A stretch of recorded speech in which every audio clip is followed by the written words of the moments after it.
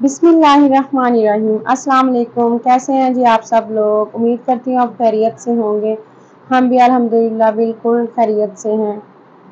यहाँ है दोपहर का टाइम और मैं बना रही हूँ चिकन यखनी पुलाव।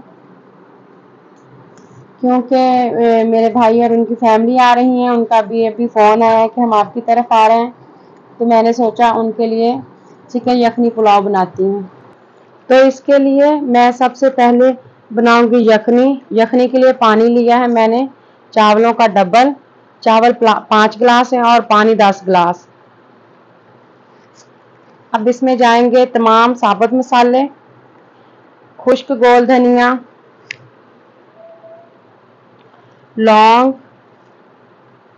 दालचीनी।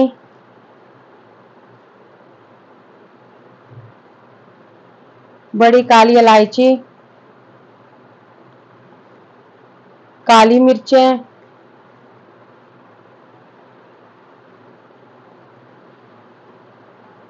साबुत ज़ीरा।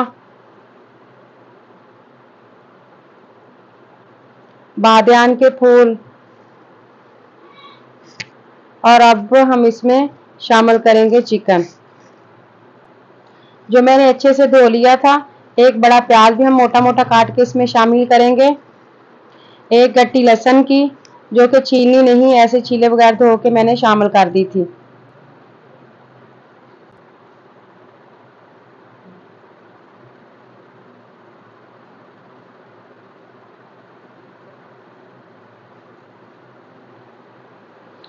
अब इसमें जा रही है सौंफ, जो मेरे जहन से निकल गया था, छोटी इलायची भी शामिल करेंगे। जायफल, जावत्री मेरे पास नहीं थी, वो भी मैं डालती होती हूँ। जितने भी आपके पास साबुत मसाले हैं, वो तमाम आपने इसमें शामिल कर देने हैं। आपने घबराना नहीं है कि इतने ज़्यादा मसाले डालने से चावलों का टेस्ट कैसा आएगा। यकीन करें, चावल इतने मज़े के बनेंगे कि आपकी फैमिली हर दफ़ा यही पुलाव की फरमाइश करेगी। क्योंकि तमाम खड़े मसाले यखनी से निकाल कर वेस्ट कर देंगे, सिर्फ़ यखनी और चिकन को हम चावलों में शामिल करेंगे। यखनी को पकते हुए पाँच से दस मिनट हो चुके हैं। जब खड़े मसालों का टेस्ट यखनी में शामिल हो जाए तो हमने यखनी को छान लेना है। चिकन को हमने सेपरेट कर लेना है और तमाम मसाले निकाल देने हैं।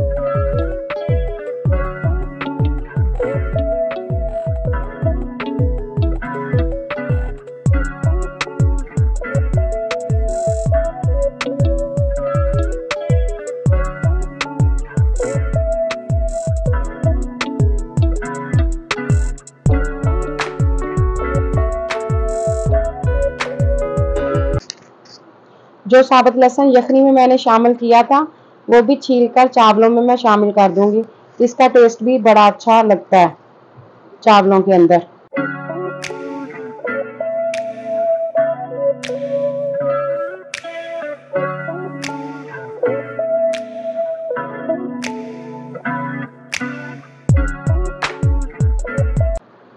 इसके बाद एक बड़े साइज़ का प्याज लेंगे। उसमें ऑयल शामिल करेंगे और प्याज को हम लाइट ब्राउन कर लेंगे। लाइट ब्राउन होने के बाद अब इसमें हम अदरक लहसुन का पेस्ट शामिल करेंगे। उसको थोड़ा सा भून कर उसमें चिकन शामिल कर देंगे। चिकन को हमने इतना फ्राई करना है कि हल्का सा गोल्डन हो जाए। फिर उसमें हमने तमाम मसाला जात शामिल करने हैं।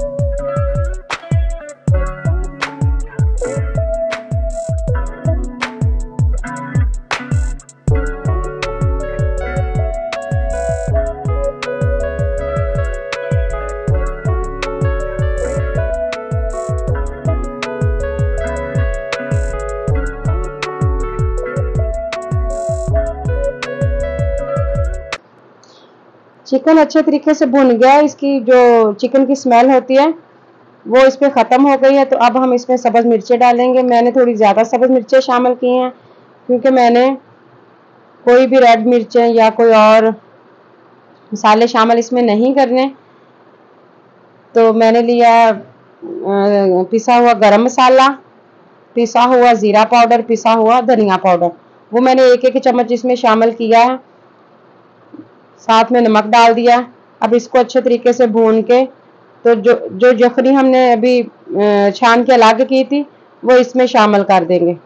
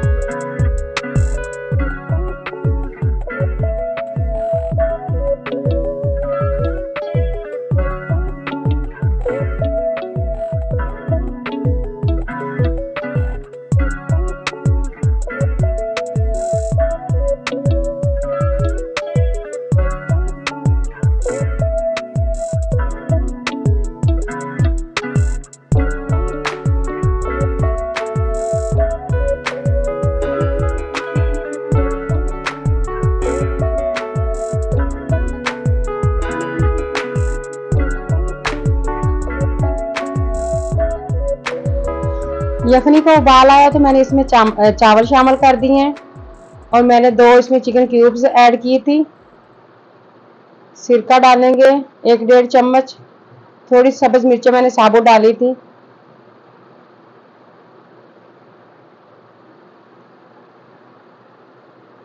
इसके बाद हम इसका नमक चखेंगे। इस लेवल पे नमक चेक करके तो हमने इसमें नमक डाल लेना। अब पानी खुश्क हो गया चावलों का। तो अब हम इसको दाम लगा देंगे।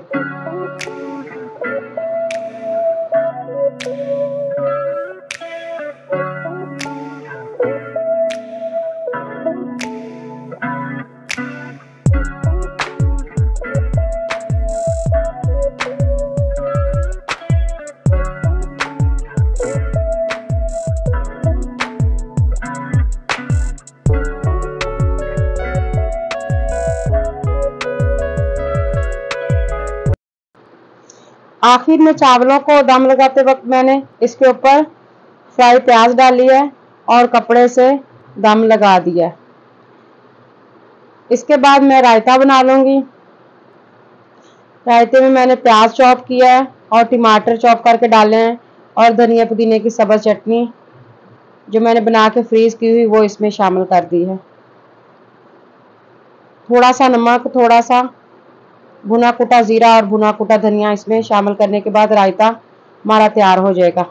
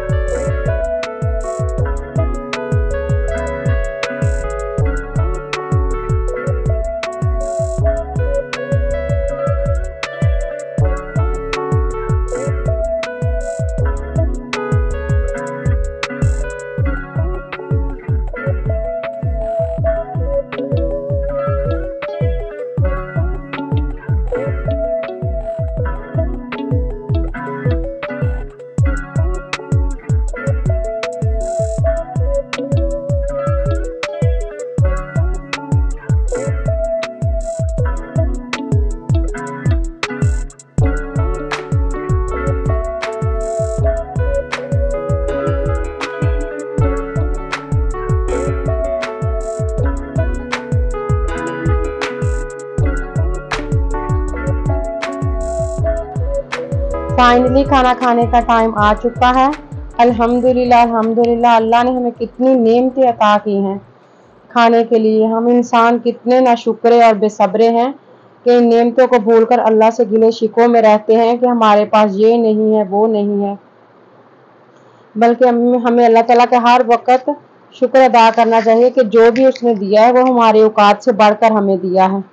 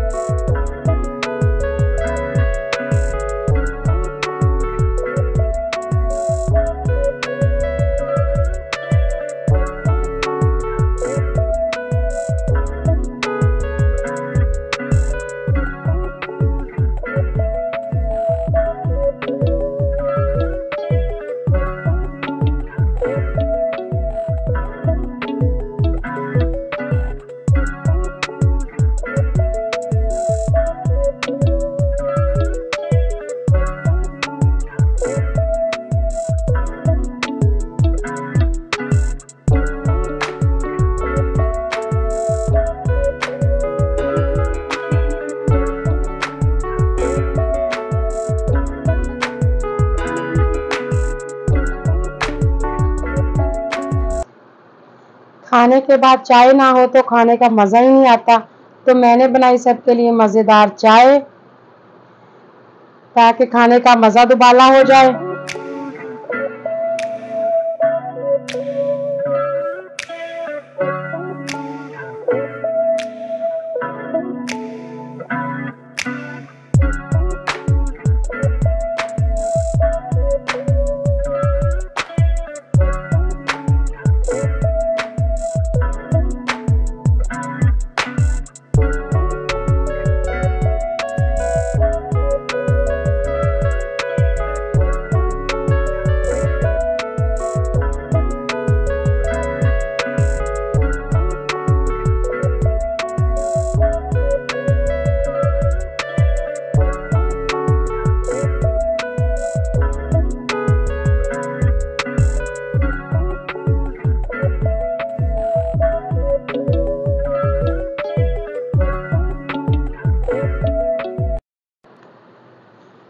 चाय पीने के बाद मैं आ गई हूँ दोबारा से किचन में तो मैंने किचन को क्लीन करना था, बर्तन वगैरह धोने थे। क्योंकि इसके बाद हम सबने जाना था एक, दो घर देखने के लिए। वो इसलिए कि भाई ने नया घर खरीदना है तो आज संडे है, उसको ऑफ़िस से छुट्टी होती है तो वो इसी सिलसिले में हमारी तरफ़ भी आए थे। हमारी साइड पे दो तीन घर उन्होंने देखने थे। एक घर ये है जो मैंने बाहर से दिखाया आपको। क्योंकि घर में अभी फैमिली थी तो अंदर से दिखाना मुनासिब नहीं था। भाई लोगों के जाने के बाद बच्चों ने जिद करनी शुरू कर दी कि आज छुट्टियों का आखिरी दिन है और कल से स्कूल ओपन हो रहे हैं तो हमने जाना है पिज़्ज़ा खाने। फिर हमने भी मना नहीं किया क्योंकि स्कूल खुलने के बाद स्कूल खुलने के बाद बच्चे काफ़ी बिज़ी हो जाते तो फिर टाइम नहीं मिलता। तो आज बच्चों को खुश कर देते हमने सोचा। क्योंकि शाम के खाने में मैंने भी कुछ नहीं बनाया था। भाई के साथ घर देखते देखते काफ़ी टाइम उधर लग गया। तो कभी कभार पेरेंट्स को बच्चों की फरमाइश मान लेनी चाहिए। इस तरह बच्चे भी खुश और वालदेन भी खुश।